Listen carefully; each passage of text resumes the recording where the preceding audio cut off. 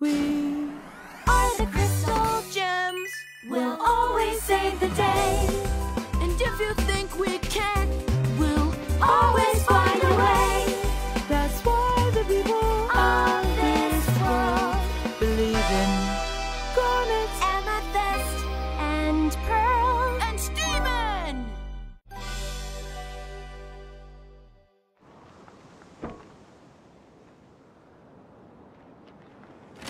see him, call me right away. He's my only interdimensional gateway to space, and I love him. Okay, I think I have enough flyers left.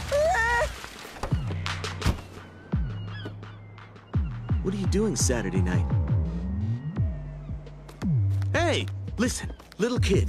Beat it, Kevin. I'm throwing a party at my parents' palatial estate. All the coolest teens in Delmarva have RSVP'd, except one.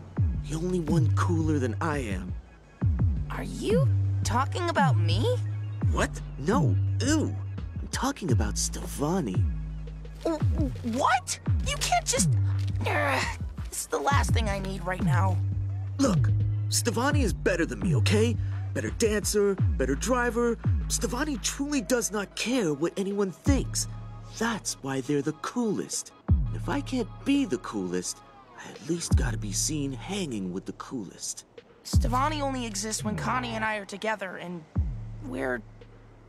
I'm not coming. Great.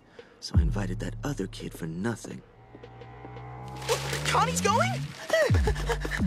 of course she's going. No one turns down an invitation to a Kevin party. But she can't stand you. Why would she... Wait, did you say all of this to her, too? Does she think I'm... I'm gonna be there? Is it too late to RSVP?